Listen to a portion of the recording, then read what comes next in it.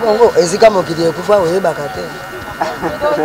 mama me ngai naoexplike biso bakoloba te yo na bongo ngai nakoloba likambo nini okomprendre kaka toza vraiment pesi bapesi yo mbongo me ngai depuis ka yo oye awa bapesi yo mbongo me ngai depuis lobi nalie eloko te nazosouffrir nazoteka kpanga bon ozoya kolobisa ngai na likambo nini bamama bazomona mpasi soki oluki tokolia te tozosufri na bana tokende boye mabe tozonga boye mabe mbongo na biso ekomi na mpasi moyen tovivre bien eza te oteka mombongo bénéfice ya malonga ezalaka te oluka moyen ozindi lobi ozindi moyen tozwa mbongo ya malonga eza te tala mama naki oluka vere azoponana mba depuis ntango na leloko te souffrance eleki na mboka njala tolemi mpaka ngai nazoloba tolemi mpaka buda bakomi koyakela bana na biso mibali kokota ntina bandako kobota biso bamama bino bilamba kobota biso bambongo tolembi na bujana awa bamonisa bana pakatu bapasi tolembi mokili ekomi mpasi yango tozoloba mibali mosala te tozonyokoma papa bana tozomona mpasi nifa pama tozolia na bana tozokoka te papa eza nini bino na mbongo biso na mpasi biso ndenge moko na yo mama tozoluka kaka na se ya moi oza ndenge moko na biso te biso awa tozosouffrir oyoki ndenge biso tozala na botaka mwana kaka bino leta bolokoti ye bomemi ye este akende obunaka bituma ngai mama na ye nazonyokwama na koteka kwanga mama abengaka yo te mwana abe eh, nayebi kota azali te oyoki bino na mbongo bojwa mbongo na bino bolia botika biso toya konyokwamaka likambo te original découverte yango nde émission yango toza pe te toza pe te toke epai te soki atie libaya tokobukango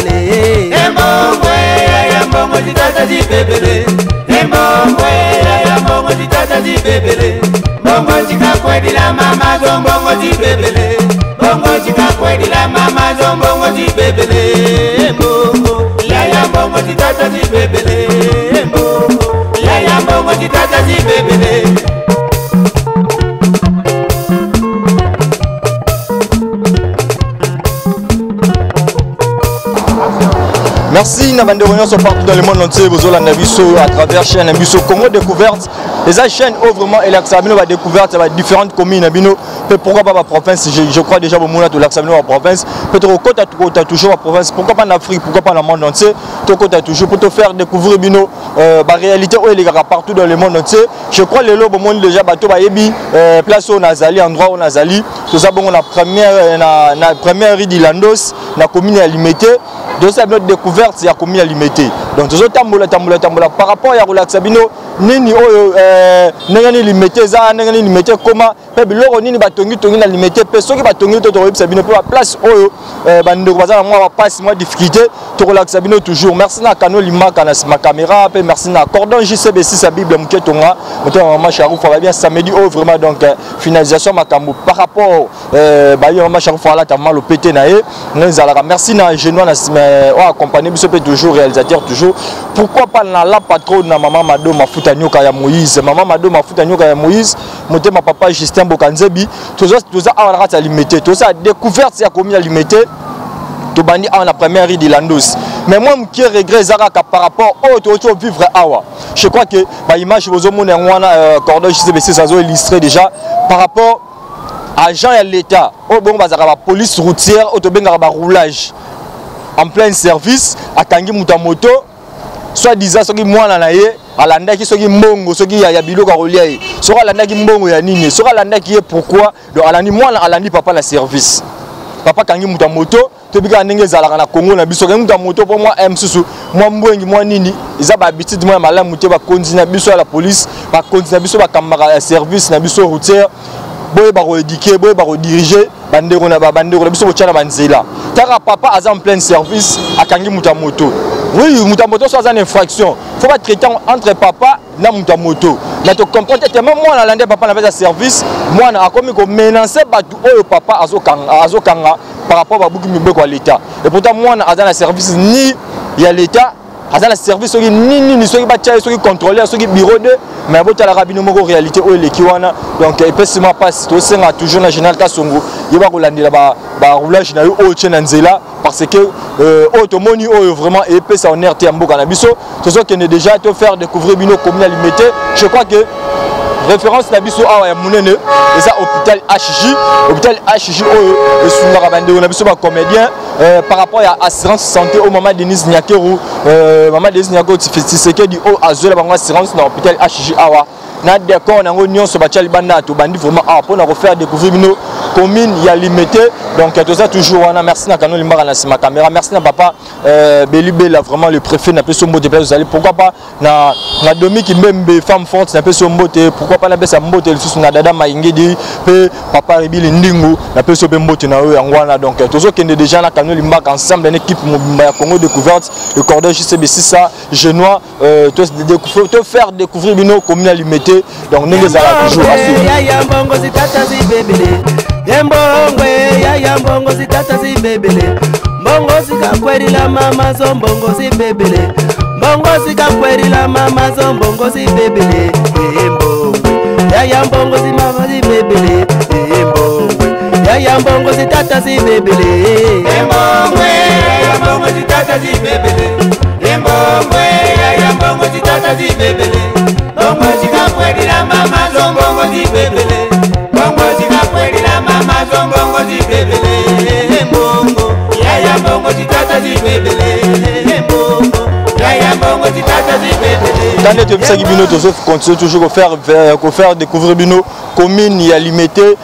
Je crois que ah toza bongo na petit boulevard euh, donc euh, tozali na grand boulevard place où tobandaki vraiment découverte na biso toyei sikoyo na petit boulevard de landos ndenge ezalaka toujours je crois que na nsima na nga euh, bozomona euh, maison monene oyo eza maison ya imprimerie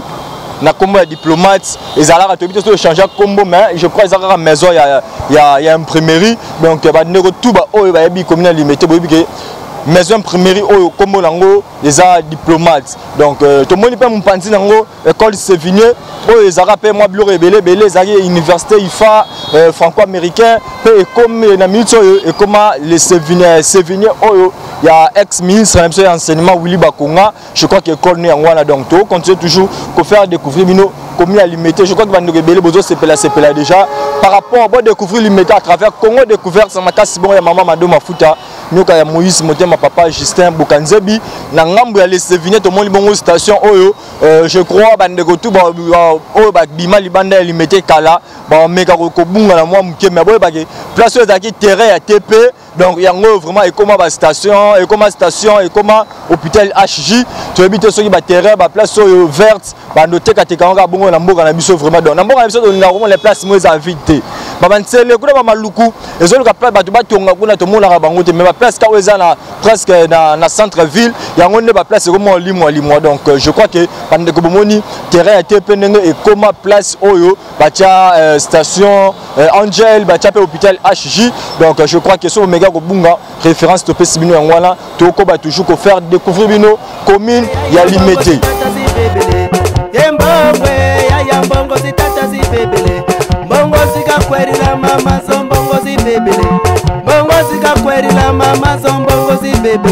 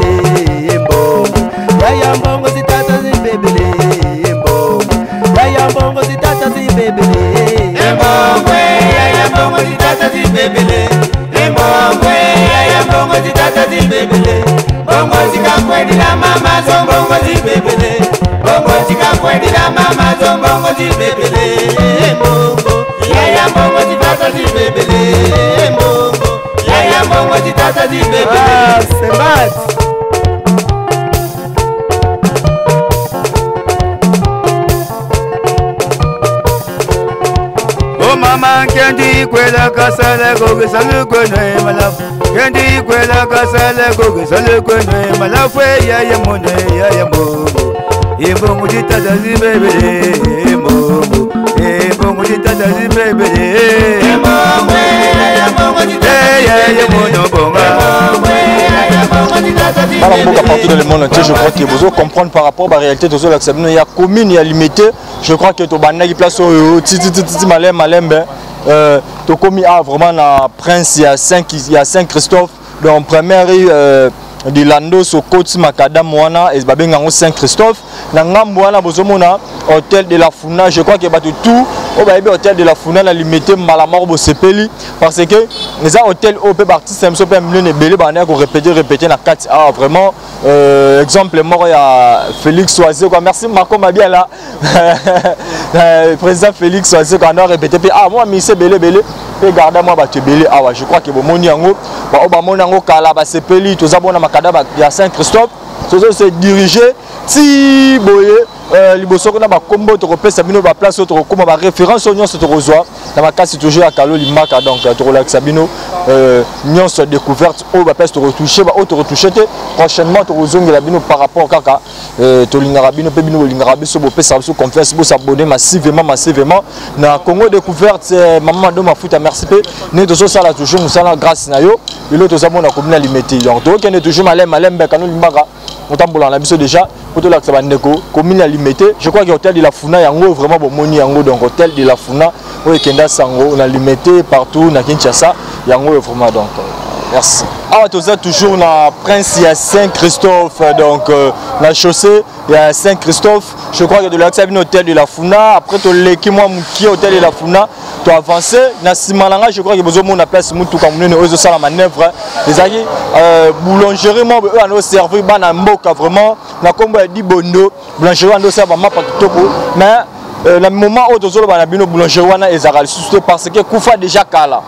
ekufa déjà kala je crois ba 90 ba 2000 ans ba boulangerie wana ekufa déjà oyo ande oservi bana mboka na bamapa kitoko eza te bamapa oyo tozomonaka lelo simbi lipa boye ofini boye lipa azongi lokola papier mouchoir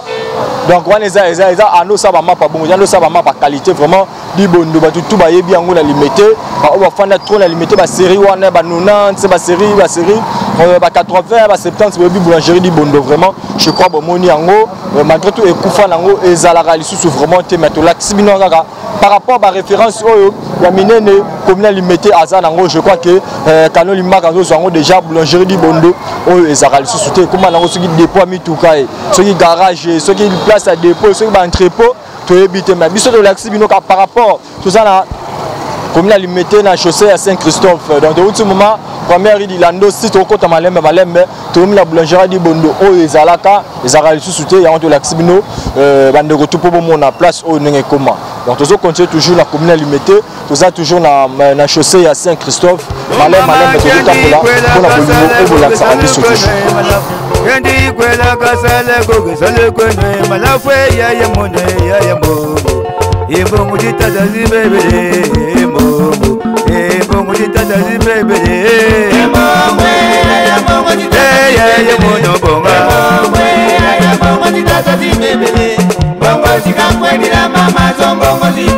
bele bongo tika kwendila mama zo mbongo di bebele mbongo yaya mbongo tikazo di bebele mbongo yaya mbongo yaya kendi kwelaka sale kokesali kwebaki matokoske tokomi place oyo avenir saint christophe esuki donc saint christophe ebandi vraiment na, na boulevard lumumba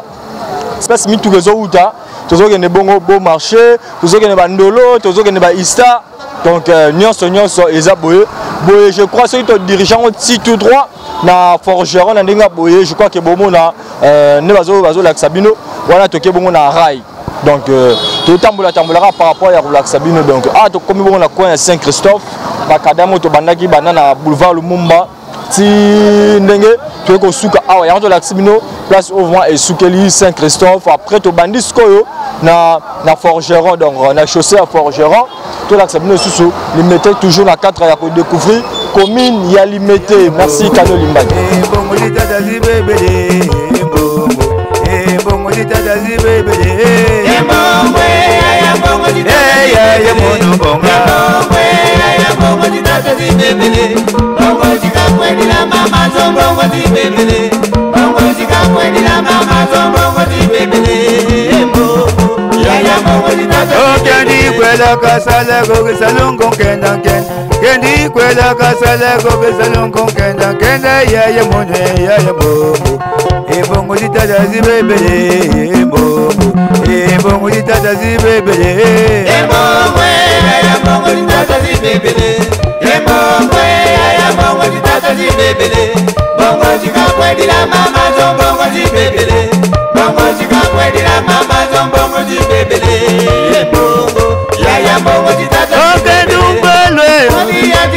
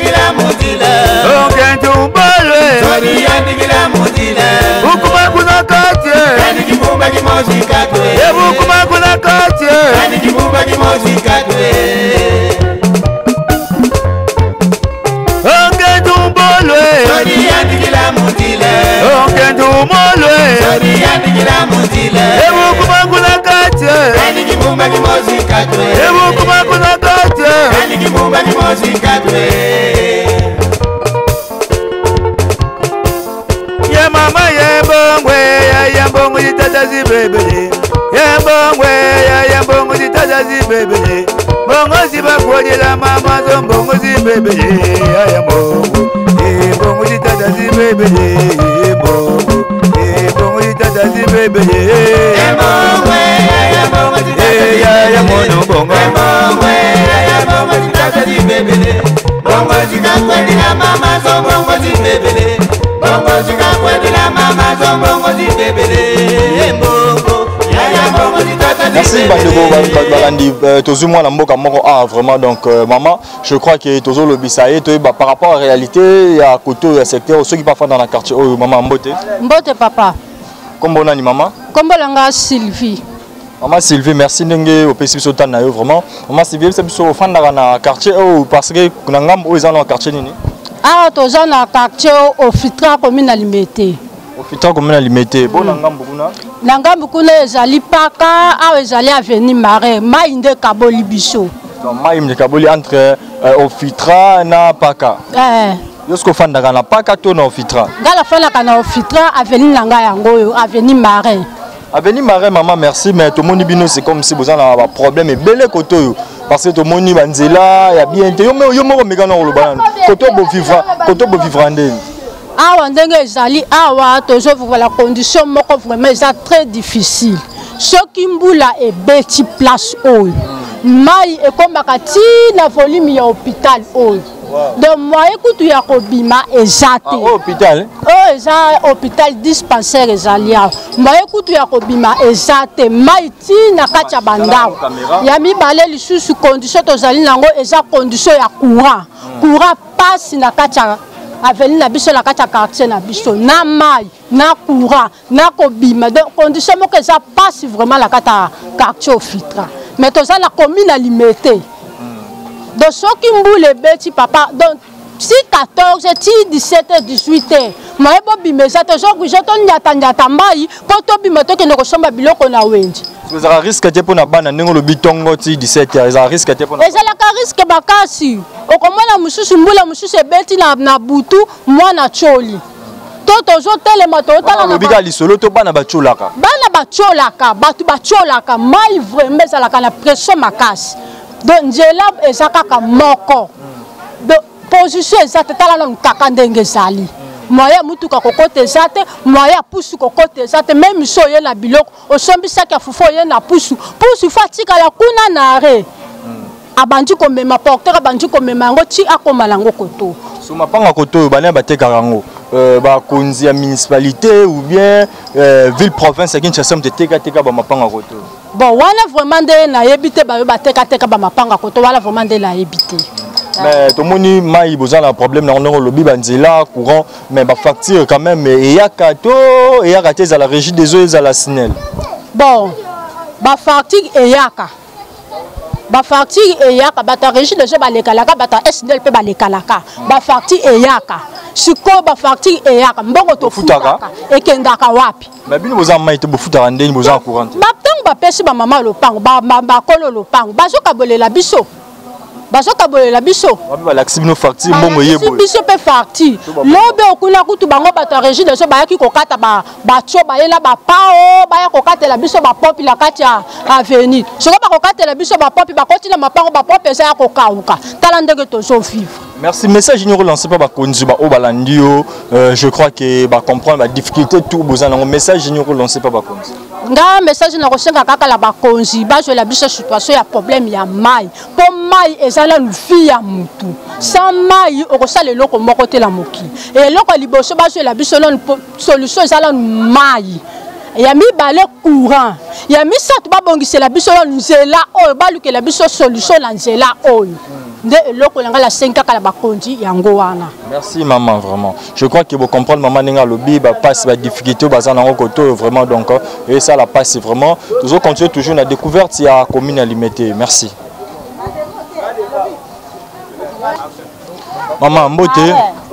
mbote maman mbote maman tokoyeba nkombo na yo Kombo na mama Jenny. Mama Jenny to kutu yo awa to yebite eza source ya mai, eza mai, meka na ko expliquer biso eza réellement nini awa. Awa place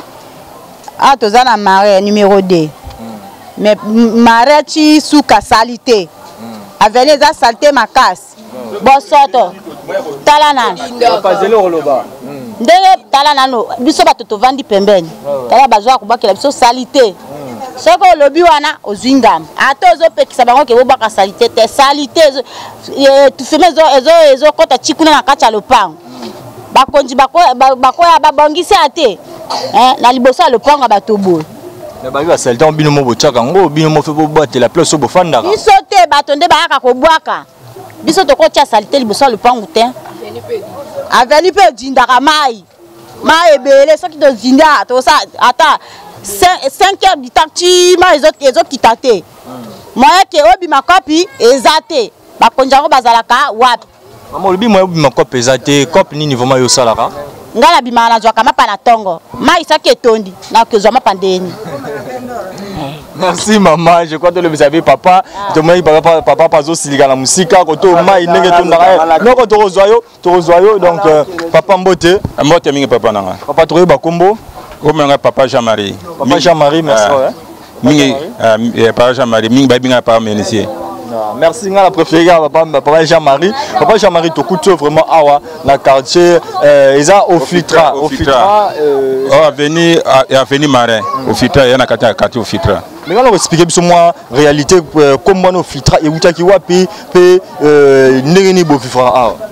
bonnement obi ofiltre ofiltre bakobenga yango eyaki lere wana periode wana ya fe mobutu yaki quartier baya kogarde baminere oza comprendre po lere wana bima babiloko make badesorde bazabanda so bakangi kaka be na zan tu baye kobwaka na quartier ofiltra mm. eyaki baminere yango si bapesa siko quartier ofiltra mm. ndenge ezali on appelle ça quartier filtra je crois que vous comprenez la réalité ndenge papa expliquer combo ya au filtra et outap mais papa euh, tout le monde on a sa quartier ah mais quand on a ça biso koto c'est comme si bakonzi bakipaka bino te bon omoni bakonzi bakipaka bayebi nayebi te soki na mpe na bakote ya bagombe na, na bangali makuni ezalaka baniveau biso tozali boye bakokipe bato bazali na balimie place beyoka mpe toza bato moko neti delese boye moye bakipe biso eza te oza kopanda eloko wana boso tozalaki bato moko mwana kipa bajipe banini banini nunda bato wana bayaka mais eloko biso toyali toya delese omoni mais soki vraiment toyalia make soki mboma mbula ebeti papa eza mawa tro mawa mingi eloko na koyebisa yo en tout cas eza ndenge wana donc mpo biso bato ya cope soki bobima cope donc mawa tro omoni euh, message nini kolanse mpo bakonzi je crois ke eza quartier oyo bando otya baminere ndenge olobi ah. euh, papa menise mais eloko nini message nini kolanse mpo bakonzi baoyo bazolanda oyo partout euh, na minute oyo Bon papa, au moins il y a le qu'on a koloba yango oyo boyo. Ba mikonzo ko bato bato ba lelo ko ba konzi ba konzi ba bien c'est ba konzi bazali. Vous se comprendre? Pour ba konzo ba yali na ba place biso peuple ne to tchaki bango. Pour ba na place wana. Vous se comprendre? Pour le là ko ko ya na ye. A ah, bo sala nga bo sala nga bo sala comme na ko sala bona ko sala bona bo. To voter bien sûr. Là to ko voter a ah, comme na place wana a ah, ko ba société que quand to ba voter kingande yango wana. neti bino awa bovotaki nani bon omoni mpo na quartier na biso bobo badepute bayaki nango ebele bayaki bango ebele omoni bon tomonaka vraimen moto moko te mosu ayaka parfois le mosusu problème eyali asutenaka le mosusu parfois nani oyo ya biso jekoko oyo ya kingabwa ah, omona voilà ye mosusu le mosusu ayaka so parfois so bobimeli ye atokangaka ma rapide wana soki abobimeli bino moko ye moko araisonnaka bino te mwa jour abeti tour en tout cas mpona kobeta vrma tour wana vrma imperial wana vrma nakokosa te oza comprendre mposo nakosi bato nyonso ya kate ya filtre baza komona ke nakosi okay. merci papa na participation na yo vraiment merci mingi merci mingi papa ok ah, je crois que vous comprenez l'explication oyo papa apesi ezalaki euh, euh, quartier oyo vraiment bandaki kozwa baminere na centre ville bazoya kotika bango awa toyebi euh, te cause ezalaki nini papa mpe alobi cause te mais je crois tokotuna bandeko mosusu baoyo bameki bayebi quartier oyo vraiment tokocontinue toujours na ngambu tokokatisa mpe na paka jomba kuna tomeka kozwa mpe réalité oyo bandeko na biso ya paka jomba bazovivre kuna merci na baboni na biso nyonso baoyo baza connecte na minute oyo partout dans le monde entier Bon continuez toujours ko s'abonner massivement. Merci na maman Mado Mafuta Anyoka ya Moïse, motema papa Justin Bokanzebi, merci na Cordon JCB Sissa, ya maman Sharufa, merci na Canon Limbaki pe merci na Genois euh, le réalisateur toujours. To continuer toujours les équipes oyo to tambo na ngoma na journée lelo, tozo continuer to kende to la sabino réalité ya place mususu euh, na commet toujours à limiter pe na différentes quartiers. je crois que ozo comprendre toza bongo na kati ya wenze vraiment euh, wenze oyo tokuti ba réalité vraiment ebele ah vraiment oyo ekamwisi ngai vraiment prince euh, eza ke tomoni bandako bamaison etongami likolo etongami likolo ya rai toyebi te euh, rai yango bamaison babandi otonga yango kan mpe train etiki koleka na nzela ya rai oyo kan tokomeka kosolola bamama ya wenze oyo tokuti awa vraiment donc réalité eza makasi vraiment toza déjà na ngambu ya paka eh, bamisusu bacomprendre te yango na ngambu mai ya paka juma toza déjà awa tomeka kosolola na bamama bandeko oyo nyonso tokomona awa donc réalité tout tokokuta awa tokolakisa bino par rapport ya bakonzi euh, boyeba mpe kobongisa boyeba mpe kotala bandeko na biso oyo baza awa par rapport ya réalité vie oyo sociale bazovivre awa bomeka kotala mpe ka na bango bomeka kobongisa donc tokende déjà tosolola na bandeko oyo nyonso bakoyamba biso na kati ya paka awa merci kalo tokendaka deja eh, mama mama limwe mama ye wana zoya mama mbote eh? mama boyine koloba toluka mama mosusu mama wana bakimi na biso babo comprendre kaka eh, réalité tobivre awa bandeko toza mposa baloba par rapport ya situation tu bavivre awa mais bazoboya na bango koloba donc euh, so eza te tokosala toujours mosala na biso kaka te mama eza kokaba mbongo te eza toni totuna kaka ndenge nini wenzi na bino elekaka awa mpe tomoni wenzi likolo ya rai eh, mama